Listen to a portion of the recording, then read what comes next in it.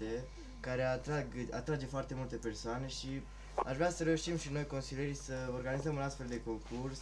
Nu neapărat uh, la fel, dar este o idee bună și putem să o adoptăm și să o schimbăm cu ideile noastre și astfel o să menținem și prietenia între adolescenți și mi se pare de, mi s-a părut un concurs foarte bun și sper să reușim și noi așa ceva.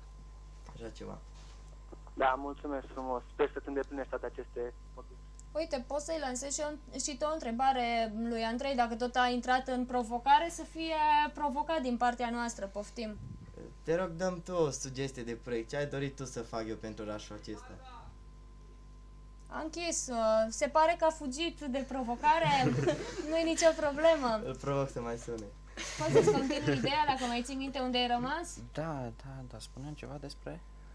Proiectele... Despre proiectul. Despre ai lansat, modificarea- uh, ai lansat ideea că poate să continue și noua generație, ca să o numesc așa, cu ghilimele de rigoare. Până la urmă, voi o să fiți special și o să fiți apreciați dacă veniți cu inițiative proprii. Într-adevăr, proiectele care le-am lăsat noi moștenire, o să alegeți să le continuați sau nu. Sunteți până la urmă o altă organizație, alți, uh, alte personaje, alte idei, alte resurse. Și ca urmare o să aveți inițiative proprii. Eu în prima fază nici nu am vrut să vă spun exact și să vă descriu cum am organizat noi, tocmai să vă las uh, imaginația liberă. Fiți creativi, pentru că până la urmă nu vă folosește să faceți ce am făcut noi. Dacă e un proiect bun, o să-l continuați, bineînțeles. Și adevărul e că o să le abordați pe toate în felul vostru. E clar că nu o să puteți să le faceți exact cum le-am făcut noi sau, mă rog, nu o să vă loviți de aceleași probleme, da. o să Simțiți, le... gândiți, trăiți da, altfel. Exact, o să Exact. le vedeți altfel. O altă întrebare? Să schimbăm uh, poziția, mergem din stânga spre dreapta.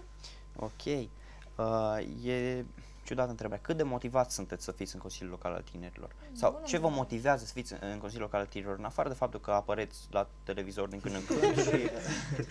Pentru că, da, există. Ce motivație aveți? Pot să încep eu? Mie, personal, întotdeauna mi-a plăcut să mă implic uh, pentru școala mea, care mi este extrem de dragă și din moment ce mi s-a oferit șansa să o reprezint și să fac ceva pentru binele ei și acum că am reușit să intru în Consiliu, nu mă mai refer numai la școala mea și la celelalte școli, dacă pot să fac un bine în acest sens, uh, îmi dau toată silința. Ok. Uh, cum vă vedeți voi peste 2 ani, după ce o să terminați uh, toată treaba asta cu Consiliul Local al Tinerilor, știind că o să vă implicați mult, să zicem, o să vă implicați, o să aveți proiecte și cursuri de formare și toate cele și o să deveniți consilieri profesioniști, să zicem. Cum vă vedeți? Care este o activitate, să zicem, pe viitor, uh, după ce terminați uh, perioada de Consiliul Local al Tinerilor? Vă gândiți să mergeți mai departe pe latura asta, să, uh, nu știu, să dezvoltați, să... Nu le dai idei. Să descoperim, Lasă să le fie greu. descoperim împreună. Um, nu știu ce o Uite, să Paul. facem. Haide. Păi eu m-aș gândi să mă, după ce îmi termin mandatul, să mă ofer ca și voluntar al uh, Consiliului Local de Tinere, să continui să îi ajut cu idei, cu posibilități, cu ce pot. Dar să zicem, să zicem că nu o să mai stai în Bistrița, te duci în București, spre exemplu. Ce o să faci acolo? Să alegi o nouă O să- facultate. o să- O facultate nouă, exact. nouă. O O să mai, facultate uh, spre care visezi tu că vei fi mare și tare în domeniul respectiv.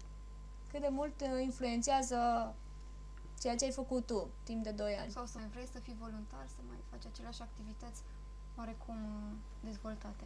Aș, con- aș uh, susține tinerii, să le ofer libertate de exprimare, să aibă și eu cuvânt în orașul respectiv în care o să mă aflu. Că Eu sper peste 2 ani să fiu apreciat cât de cât pentru ceea ce am făcut, pentru că nu vreau ca peste 2 ani pe colegii să-mi spună că, bă, ai fost acolo și n-ai făcut nimic. Adevărul e că nu o să ai toate vocile Păi nu de doresc partea toate ta, vocile, dar însă măcar o parte din ele să fie de partea mea. Ziceam că Eu să cred te că asta e obișnuiești cel cu mai ideea că important. nu toată lumea să fie pro. Peste 2 ani deja vei fi mult mai matur și vei privi cu o anumită detașare și partea pozitivă și partea negativă, că acum lauri o să fie, dar o să fie și parte de critică, ceea ce trebuie să fie o, un dram de evoluție pentru tine. Știi ce n-ai realizat, știi ce-ți dorești, știi ce urmează să faci în facultate, eventual. Și având în vedere iarăși timpul foarte scurt în care am fost consilieri, nu puteți ști ce impact va avea asupra noastră alt uh, ne putem doar gândi ideile cu care am intrat, visele cu care am intrat în acest Ce proiect. viziune aveți pentru ce faceți voi acum în Consiliu? Cam, cam asta ar trebui să fie întrebarea. În 2 ani, ce, care e scopul final? Ce, unde vreți să ajungeți în 2 ani de acum? Cred că eu sunt de acord cu acea notă de respect din partea colegilor care ne-au votat. Practic vreți la final să fiți respectați. Da. Atât. Nu doar respectați. Vrem să reușim să realizăm ceea ce ne propunem. Să rezolvați la urma urmei niște probleme. acum. Ultima întrebare, da, din partea voastră spre cei care finalizează și vor pune punct uh, situației și Consiliului. Aveți vreo întrebare?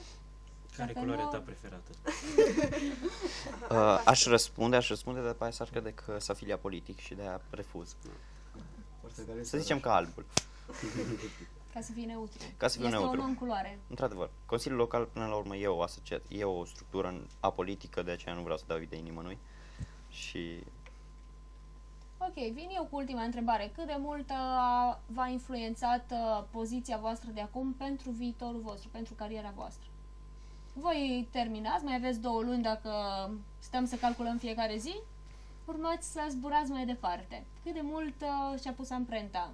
Avem o diplomă în plus, ca să zicem Contează așa. la CV. Contează Da, o contează. hârtie în plus? Da, foarte mult și avem experiență de a lucra în echipă, de a face proiecte.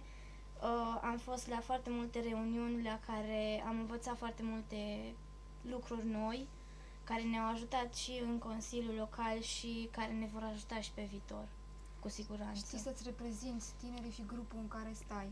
Adică știi că atunci când ai ceva de spus, să susții asta în fața tuturor. Și să nu te lași călcat. Da, adică în spatele respectivei hârtii e multă experiență, multă experiență și până la urmă un angajator, un, uh, oriunde vrei să intri, îți cere experiența. Uite, eu în această seară am descoperit ceva. Ce anume? Că ai reușit să faci un progres în plus față de persoana ta, înainte de orice hârtie. Cu Ce siguranță anume, e bâlbâiala de care vorbeai. și Ceea multe ce altele. și pentru mine, inhibiția, emoția exista de când eram. Televiziunea pentru mine a însemnat un lucru foarte important, să scap de tot ceea ce înseamnă inhibiție. Așa că eu vă felicit. Probabil aveți un cuvânt de spus înainte de a încheia emisiunea, se apropie Paștele, o urare pentru cei dragi, pentru prietenii voștri, pentru părinții voștri. Nimeni nu îndrăznește până atunci am să spun eu. Mâine se- este o zi specială în familia mea. Tatăl meu împlinește o anumită vârstă, așa că îndrăznesc să-i fac surpriza în mod direct, să-i spun la mulți ani, să fie sănătos și să se bucure în continuare de mine și de familie, așa cum am reușit noi. Sper să reuș- să-i creăm emoția și bucuria. Eu le spun uh, sărbători fericite familiei și prietenilor mei, o pup pe verișoara mea Maria și le urez mult succes noilor consilieri. Ok, timpul a trecut, eu vă spun, rămâneți cu noi într-o provocare viitoare, săptămâna viitoare, bineînțeles, așa că Hristos a înviat, vă spune de pe acum, sărbători fericite, toate cele bune, v-am pupat!